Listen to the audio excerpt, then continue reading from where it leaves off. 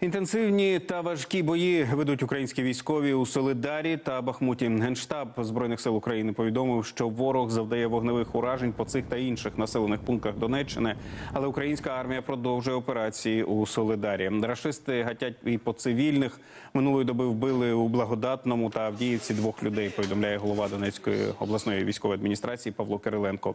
Від ударів ворожими ракетами постраждали також Костянтинівка і Краматорськ.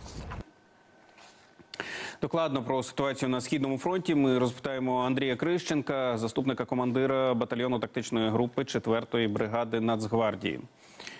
Е, Доброго ранку, пане Андрію. Е, Слава Україні. Доброго ранку, героям слава. Ну, всіх зараз цікавить насамперед Солидар. Ганна Маляр повідомила, що ніч була там гарячою. Ворог підтримує високу інтенсивність наступу. Розкажіть, будь ласка, що вам відомо про ситуацію там? Е, Ну, хочу сказати так. е, Відразу ми наші позиції знаходяться в іншому місті, трохи е, південніше Солідару. Солидару. Але те, що я знаю, да, так там дійсно тривають дуже важкі бої. Е, Противник, е, наші вороги, е, навіть зниживши інтенсивність на інших ділянках, пере, ну, на мою думку, перекидує туди, туди все, що можливо, щоб досягти успіху.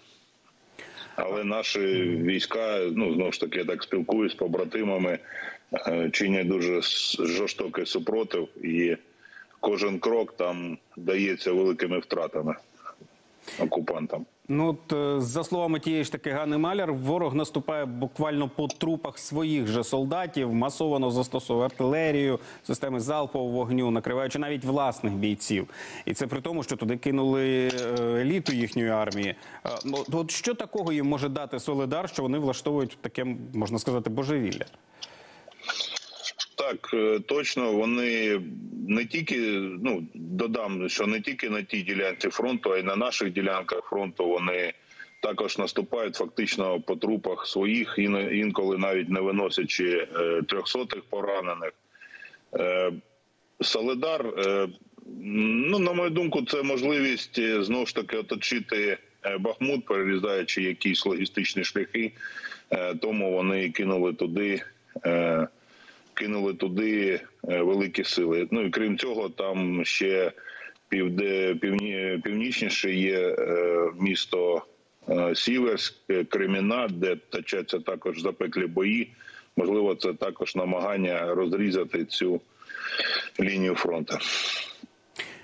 Пане Андрію, але от І, е, і ви, вибачте, і ну на мою думку, ще їм хоч якийсь же ж успіх потрібен. А то починаючи цю війну з намагання взяти Київ за три доби, вони хоч щось хочуть вже захопити. Е, Навіть Солідар будуть преподносити як велику перемогу, якщо в них в чому я е, дуже сумніваюся, якщо в них щось е, вийде.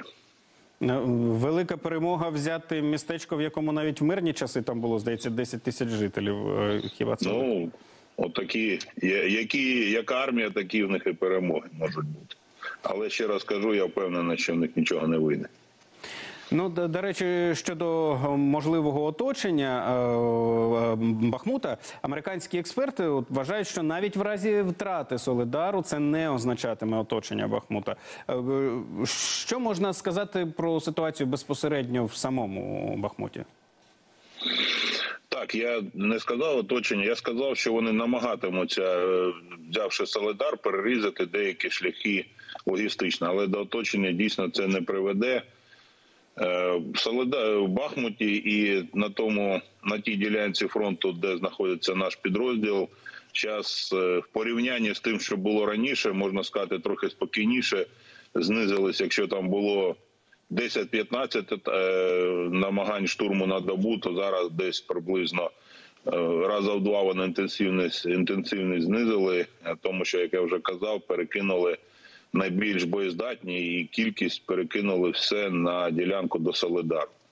Е, В самому Бахмуті ну дійсно серйозні, серйозні вже пошкодження. Фактично, приватний сектор на окраїнах знищено повністю. Постраждав такий історичний центр. Е, Я це місто добре знаю. Я там працював колись дуже давно до війни. Е, яке воно було красиве, квітуче, і зараз вони його потроху перетворюють на руїни.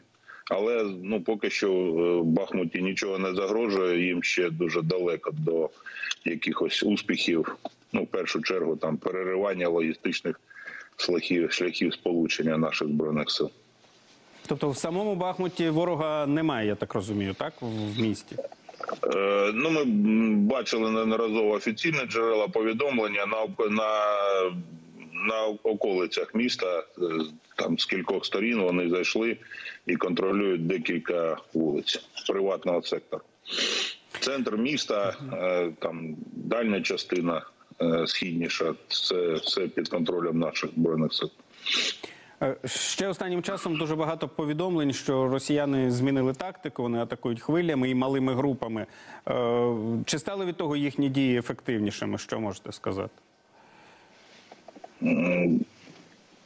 Постійно так е, невеличкі групи піхоти, невеличкі це 10-15, е, йдуть хвилями, е, враховуючи, що це, як я вже казав, було 10-15 разів на добу, навіть більше.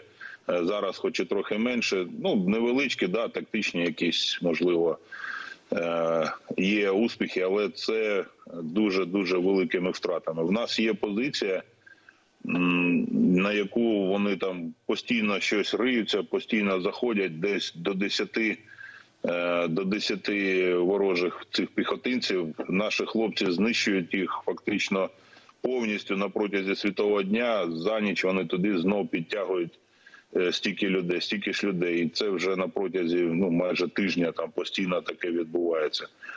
Тому от такими методами тактичними вони і діють. А як це можна взагалі пояснити? Ну, Що ну люди йдуть в, атаку? Є багато повідомлень, що фактично відкрито ледь не в повний зріст ідуть, їх вбивають е, все нові і нові йдуть. Вони не бояться смерті. Чи це люди під дією якихось препаратів? Що з ними там? Що з ними не так?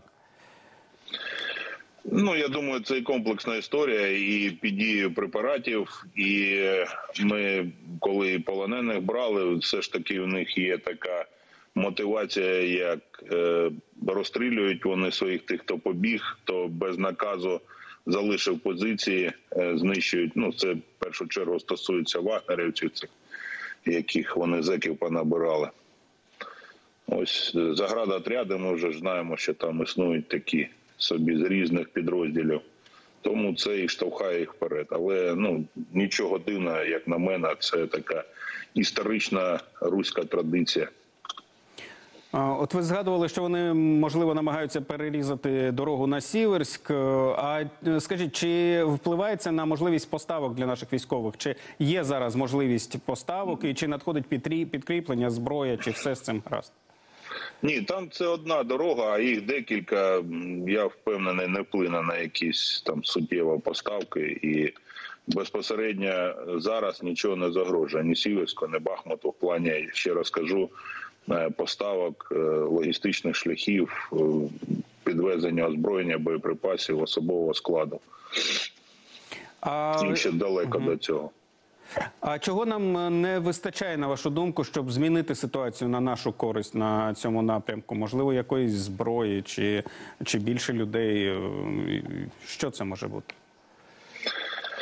Ну, війна, на мою думку, це завжди криза. І як кожній кризи завжди чогось не вистачає. Е, Ну чого б хотілося, це дійсно зброя, більш більше потужна. Те, що є, це досить дуже добре, і дякуючи нашим партнерам, які надають велику кількість е, суча- надсучаснішого озброєння, якого немає російських окупантів. Але ну, якщо його буде більше, е, то успіхи будуть е, більш суттєвими, і це дасть можливість в першу чергу збереження життя і е, наших воїнів, е, і місцевих мирних мешканців.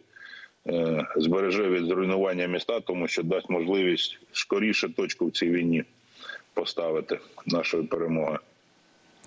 Пане Андрію, я вам дуже дякую за вашу службу насамперед і за те, що знайшли час з нами поговорити.